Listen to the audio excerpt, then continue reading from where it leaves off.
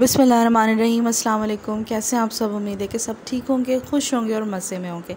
आज मैं आपके लिए लेकर आई हूँ बहुत ज़बरदस्त किस्म की मैंगो डेज़र्ट की रेसिपी ये पुडिंग भी आप इसको कह सकते हैं कस्टर्ड भी कह सकते हैं, ये मेरी इन्वेंशन है तो बहुत मज़ेदार बनता है।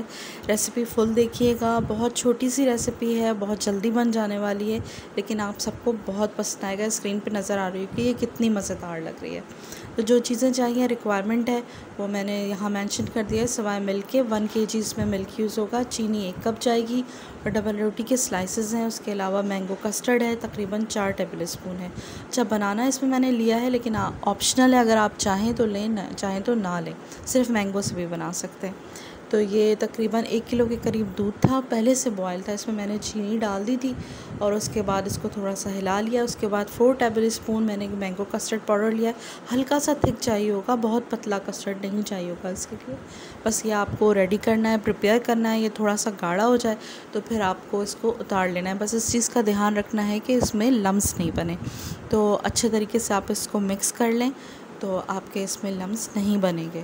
और आपने इसको अच्छे तरीके से मिला लेना है, उसके बाद जो है आप इसको ठंडा कर लेंगे। रेसिपी पसंद आए तो ज़रूर लाइक, शेयर करिए और कमेंट्स करिए और चैनल को सब्सक्राइब भी कर दीजिएगा। अच्छा अब ये डबल रोटी के स्लाइसेस उनको मैंने हाफ़ ब्रेक करके और उनमें हल्का सा घी या बटर जो भी आपके पास अवेलेबल हो उस वक्त वो लेकर और उनको टोस्ट कर लेना है। इतना कि थोड़े हल्के क्रिस्पी हो जाएँ। इसी से इसका फ्लेवर और मज़ा आएगा। ये देखिए, इसको मैंने अच्छे तरीके से टोस्ट कर लिया है, उसके बाद क्रीम ली है और उसके अंदर तकरीबन ये फ़ोर टेबल स्पून के करीब क्रीम है और इसमें कोको पाउडर डाला है। तकरीबन एक टेबल स्पून बहुत ज़्यादा नहीं डालना है, वरना बहुत फ्लेवर उसका इन्हेंस हो जाएगा। हल्का आपने डालना है। फ़ोर टेबल स्पून क्रीम में एक टेबल स्पून कोको पाउडर डालकर उसको मिक्स करके साइड पर फ्रिज में रख दें। अब असम्बलिंग की तरफ़ आते हैं।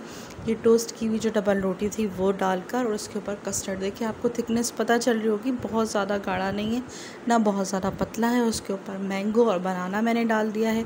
सिर्फ़ मैंगो सिर्फ़ बनाना से भी आप ये बना सकते हैं। जो भी आपका सीज़न का हो स्ट्रॉबेरी से भी बना सकते हैं। अच्छा ये फिर उसके बाद मैंने डालकर एक लेयर इसमें जो क्रीम की थी, वो लगाई थी। मुझे पाइपिंग बैग में डालना चाहिए था, मगर मैंने नहीं डाला तो बहुत मुश्किल हुई सेट करने में। और उसके बाद दोबारा से डबल रोटी की एक लेयर लगाई है कस्टर्ड की एक लेयर लगाई है। उसके बाद मैं फ्रूट डालूँगी क्रीम डालूँगी, दोबारा से वही प्रोसेस करके उसको डेकोरेट कर लेंगे। आपका ये बहुत मज़ेदार है। इसको खूब अच्छे तरीके से आपने चिल करना है, तकरीबन चार घंटे तक के लिए फ्रिज या फ्रीज़र में रख दें और इसकी फ़ाइनल लुक ये है और ज़बरदस्त किस्म का टेस्ट है, ज़बरदस्त किस्म का फ्लेवर आता है इसका।